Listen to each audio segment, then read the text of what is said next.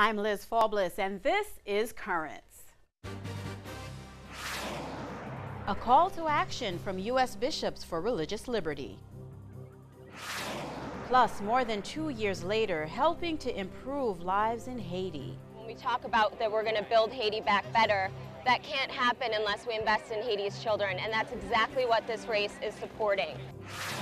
And alumni from one Catholic college get into the spirit of volunteerism. It's just a, a great opportunity for um, alumni of, of, Catholic universities to just uh, give back to the community that they're, that they're serving.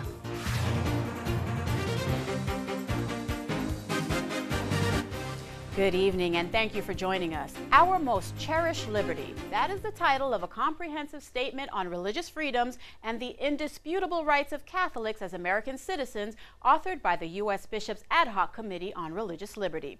The committee issued the statement to address the Church's concerns about several key issues that threaten religious consciousness. This includes the most publicly argued affront to Catholicism, the government's controversial contraception mandate. Under that rule, most religious employers provide free contraceptives to their employees through their health insurance plans. Last month, Pope Benedict XVI appointed chairman of the Ad Hoc Committee on Religious Liberty, Bishop William Lori, as the new Archbishop of Baltimore. This, as meetings at the White House and testimony before Congress made Archbishop designate Lori one of the most visible faces of the U.S. Catholic Church. He's been described as the leading voice among the nation's Roman Catholic bishops against the Obama administration's HHS rule, and I had the distinct pleasure of speaking with His Excellency earlier today about what he has determined to be concrete examples showing that religious liberty is under attack. Your Excellency, before we start, I would first like to extend our fondest congratulations on your appointment to Archbishop of Baltimore, and we wish you the very, very best thank you so much, Liz. It's going to be exciting uh, serving our nation's oldest uh, see, and uh, I hope and pray that it'll prove to be a good place uh, from which to help defend religious liberty. It is quite an appointment, Your Excellency. And, and that being said, you begin the statement that we're talking about today with We are Catholics, we are Americans. And you passionately remind us that the two are not exclusive of each other. This distinction, is this at the heart of the issues that inspired your statement? Uh, it's very important. Um, the church's teaching on religious liberty um, is really a wonderful guide to human dignity and to what constitutes a just society. And it really fits well with the vision of our founding fathers who understood that we are endowed with certain basic rights by our Creator. Among these is religious liberty, and indeed in the Bill of Rights it is the first of our liberties that is listed. And as our Holy Father Pope Benedict said, this is the liberty that is uh, so very, very basic because it goes uh, to our relationship with God. Your Excellency, as you just mentioned, religious liberty does extend beyond what we're permitted to practice within the church. It also entails our contributions to the common good of all. Now, the concern is this contribution we make is being limited by what it seems to be the state is trying to do. Is this part and parcel a problem that the government is missing or ignoring? What we have observed uh, over time is an erosion of religious liberty due to bad laws, bad court decisions, um, and of course, uh, an increasingly secular culture. However, the HHS mandate has put uh, the work of defending religious liberty on steroids. And what is happening here is that uh, the accommodations which um, people of faith and conviction have enjoyed for generations with regard to following their conscience on life issues is being taken back. This is not a case of the church trying to tell the government what to do. It is rather a case of the government trying to tell the church who the church is and what the church must therefore do. And uh, we must push back. We're really trying to preserve the liberty we have. We're not trying to uh, carve out any special privilege for ourselves. What is the next mission for you to preserve our religious liberties? And what are you asking parishes and dioceses and, and your brother bishops to do in order to help push this, this cause forward? A number of things are in the offing. One of the things that um, the statement itself recommends is prayer. And so we're recommending that all dioceses celebrate what we call a fortnight of freedom, the two weeks running up to the um, uh, to the to July the fourth. The second thing that is in the offing uh, is that the um, administration will be um, giving opportunity for comment regarding the rules that will surround the so-called accommodation that the administration announced in February, whereby um, insurance companies would pay for the so-called preventive services rather than the church herself. It's going to be very, very important that all members of the church um, be guided toward and helped toward making good comments in order to defend our liberties.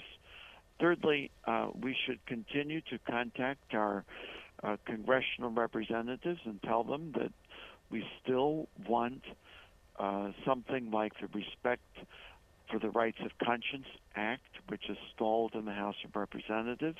And then finally, I think all of us have to alert our friends and our neighbors. We have to go viral with this so that uh, not just uh, those who are particularly interested in this will take note, but even those who are currently taking religious liberty for granted.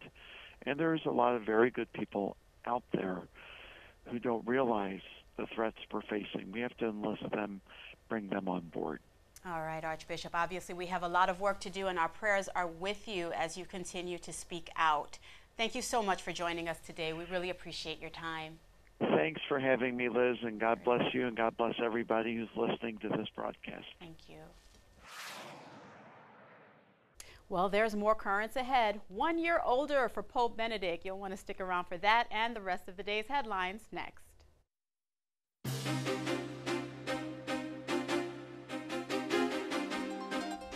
Welcome back to Currents. I'm Liz Faublas. Coming up later, bringing new life to seniors in one Brooklyn community. But first, let's have a look at the day's headlines. A big day at the Vatican as Pope Benedict turns 85 today. And as we hear from Rome Reports, the Holy Father's birthday comes just before another important date. On April 16, 2005, Cardinal Joseph Ratzinger turned 78 years old. Two days later, he took part in the conclave to elect the man who would follow John Paul II. What happened 24 hours later is now part of history. Habemus Papam.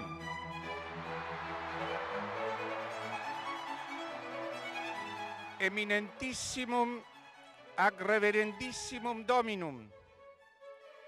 Dominum Josephum. Sancte Romane Ecclesiae Cardinale Ratzinger.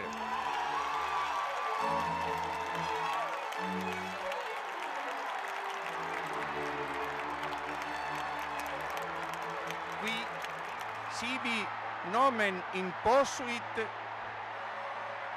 Benedicti decimi sexti. He was elected Pope seven years ago, and during his pontificate, he's written three encyclicals and has taken 30 trips in and outside of Italy. As a whole, he's visited 21 countries and five continents.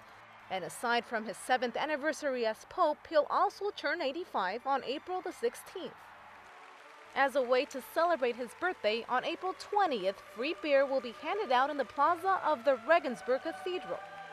That same day, the Leipzig Symphony Orchestra will perform at the Vatican. And in the town where he was born, a special stamp has been designed so that all the letters mailed out that day will show his image. Above all, I will pray for him, and leading by example, I'll also try to bring Christ to many people. I'd like to say happy birthday, Pope Benedict the 16th, and thank you so much for all your work, all your hard efforts that you, you know, give to us, the Catholic Church. We just love you to death, and I hope you have a very happy birthday and long life. Io regalerei al Papa As a gift, I'd like to give the Pope a little more time to himself, and I hope he gets to enjoy the day with his brother. Since the year 2005, the month of April has had a special meaning for Benedict XVI, both for his birthday and, of course, because he was elected Pope.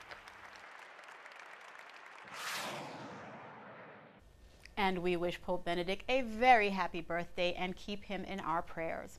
Well, amid renewed allegations, the Vatican says it is not hiding anything in connection to the kidnapping of a teenage girl almost 30 years ago. 15 year old Emanuela Orlandi, the daughter of a Vatican employee, disappeared on June 22, 1983. Among the rumor, uh, rumors that is circulating since then, the kidnapping was connected to the 1981 assassination attempt on Pope John Paul II. A separate theory has the girl buried in the same grave as a former leader in the Roman underworld. Prosecutors allege that the Vatican has withheld information about the case, an allegation the Holy See's spokesman denies. Back in this country, Mitt Romney's search for a vice presidential running mate is underway. The probable Republican nominee has tapped a longtime advisor to oversee the vetting process. The list of potential candidates includes a number of pro life politicians, including New Jersey Governor Chris Christie, Virginia Governor Bob McDonnell, Florida Senator Marco Rubio, and Wisconsin Congressman Paul Ryan. All four are Catholic. Meanwhile, efforts are underway in Mitt Romney's adopted home state of Massachusetts to oppose an initiative that would legalize assisted suicide. The Massachusetts Alliance Against Doctor Prescribed Suicide is made up of medical professionals, ethicists, disability advocates, and regular citizens. On Friday, the Alliance hailed a vote by the Vermont state rejecting a bill that would have legalized assisted suicide. The group is calling on Massachusetts voters to turn down a similar ballot initiative in November. From Northern Ireland, two men in their early 20s have been fined for posting anti Catholic messages on Facebook. According to the newspaper The Kerryman, the pair posted a number of messages, including one in which they threatened to kill all Catholics. A judge called the postings inappropriate and stupid. One of the men was fined close to $400, while the second received a fine of more than $600. A politician who was reportedly named in one of the Facebook postings said he feared for his family's safety. He added that no one would get away with making such comments on the street. Well, it may be a comedy, but not everybody is laughing. The Catholic League says the Three Stooges movie is not just another remake. The film's plot involves the Stooges raising money for their orphanage, which is run by nuns. One of the nuns is played by model Kate Upton, wearing a quote, nun bikini. A second nun, played by Seinfeld co creator Larry David, is named Sister Mary Mengele, a reference to the Nazi war criminal known as the Angel of Death. The Catholic League is encouraging people to contact 20th Century Fox. Finally, there are many programs to help children in the third world, but one group is allowing that assistance to continue into adulthood. Rome Reports has those details. Hundreds of thousands of people have adopted a child even though they've never directly met. It's all part of a program that makes sure the child will have enough to eat and an education while growing up. But years later, what happens when the child becomes an adult? Well, back in 1986, Italian Giuseppe Rotuno from the organization La Civiltà dell'Amore decided to keep on helping these people even as adults. We saw that it was necessary for us to make a jump. These children became adults.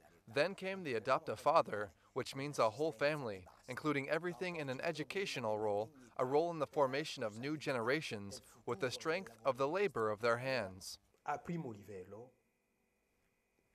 In the first place, it creates jobs. The father knows that he has not just received money for the sake of receiving, he had to work. And these fathers are responsible. They're creating a level of cooperative zones to manage what they receive and create opportunities to give more fruit. First, missionaries give the NGO information on exactly what type of programs are needed in different developing countries. The programs depend on individual donations, but the NGO doesn't receive a dime from these donations.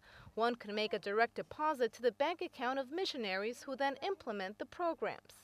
So, for 25 euros, one can adopt a father, so to speak, for a week. With the money, he'll then be able to perform different jobs like building a well, teaching children, planting crops and trees, or even building school benches. It's all about doing jobs that help improve their community. They work in schools, nursing homes, camps, in the workshops of carpenters, all the fundamental activities at the village level to promote and push the lives of entire communities that need these roles that are helped by adopting a father, adopting the head of a family. It's a project with an impact. If a teacher teaches for 25 children, 25 euros is a lot because 25 children learn, but also for a father to help his own children for their health or to eat. In time, people who choose to donate also receive a letter from the parent where he writes about how the project is helping him and his family. The NGO's website shows that these projects are already underway in countries like Congo, India, and Bolivia, but requests are coming in from all over the world. The mission may seem overwhelming at times, but really there's nothing like the gift of opportunity. Stay tuned, there's more currents ahead. It was a great day for a walk on Saturday, and a local parishioner got her feet moving for a good cause. Since the earthquake, uh, the work has become much more urgent, and this particular run is to raise money to build schools, pay for teacher salaries, teacher training, school uniforms for the kids, books, so that's why everybody's here.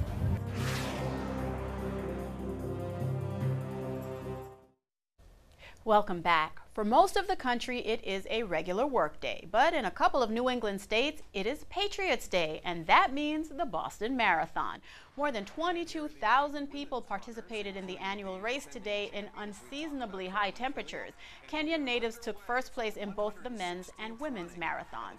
And it seems like this is the time to get in the racing spirit. One local parishioner took part in a race in Central Park this weekend, part of an effort to make a difference in Haiti. Concern Worldwide is an international humanitarian organization. We work in 25 of the world's poorest countries. Um, we directly reach 9.5 million people, and what we do is we work to eliminate extreme poverty. So Concern has been working in Haiti since 1994. Um, and Haiti is obviously the poorest country in the Western Hemisphere. It has had long-standing chronic issues even before the earthquake hit in 2010. Obviously, since the earthquake, uh, the work has become much more urgent and this particular run is to raise money to build schools, pay for teacher salaries, teacher training, school uniforms for the kids, books, so that's why everybody's here. Surprisingly, education is not free in Haiti like a lot of uh, countries in the world, so it's very difficult. A lot of children are not, they, they don't have the privilege of an education without support from organizations or families or private donors? Only one in two children in Haiti are in school, and that was actually before the earthquake. When the earthquake happened, obviously anywhere in the earthquake zone, so many schools were destroyed or absolutely wiped out. The other thing that happened was you obviously had so many people displaced, and what that means is you literally had a million people and thousands of children living in tent cities without access to schools. You know, without education, you know, when we talk about that we're going to build Haiti back better, that can't happen unless we invest in Haiti's children, and that's exactly what this race is supporting. Uh, we're hoping to make a small contribution to education in Haiti. Well, my best friend Lucy is from Haiti, and she talk, told me about the run, and I was very excited to, you know, be part of it. I am from Haiti, and uh, before I left the country, it was a beautiful place, and uh, day after day, the country just keep on going down. So I'm hoping with this thing, we can uh, bring Haiti back to what it used to be, and bring tourists back to come and visit my country. My country is a beautiful, beautiful place. We spread the word through all different channels. We just try to get the word out to as many New Yorkers as possible. We did reach out to the Haitian community, who Franz Luce is a member of here in New York. Um, she's someone who really stands out to us. Her just as an individual alone, the last I checked, raised $610 between her and her team. And I did this in, uh, I found out about the race uh, about two and a half weeks before today. So I did this all in like two weeks. This is only a start, and if we have more events of this nature, I think it definitely is, you know, going to get the rest of the country, you know, it's going to let them know, listen, Haiti's not a lost cause. There's work to be done, and let's, you know, let's uh, let's let's uh, let's start this. Let's uh, uh, let's do this thing. You know what I mean? Our goal is 155,000, and we've already raised nearly 190, which is just phenomenal. I am confident that the money I raise today will go to working towards education. I do. I believe it. So all of these people out here today have, have made a huge, huge difference for the children of Haiti. It's going to allow us to do so much on the ground and actually invest in them. And we have to mention Franz Luz finished the four mile race with a time of 34 and a quarter minutes. Really great work all around. Don't go anywhere. There's more currents ahead. A group of Catholic alumni brighten a community space for some local seniors. They're helping us today beautify our dining room uh, areas and the living room areas for our seniors who are served here.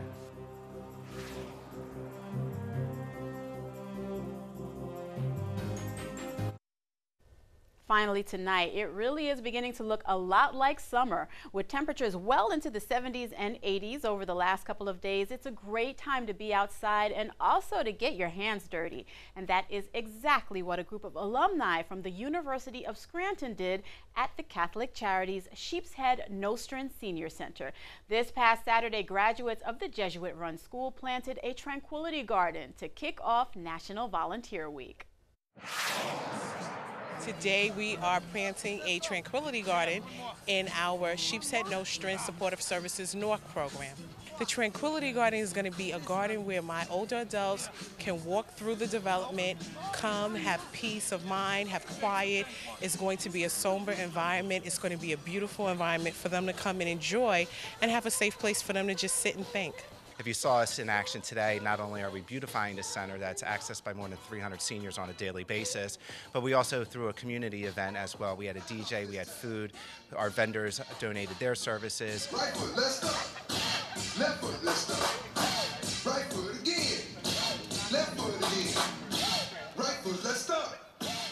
I visit for, for lunch. I come for exercises, morning exercises, dancing, and uh, I visit all uh, uh, birthday celebration, and uh, uh, I, uh, you know.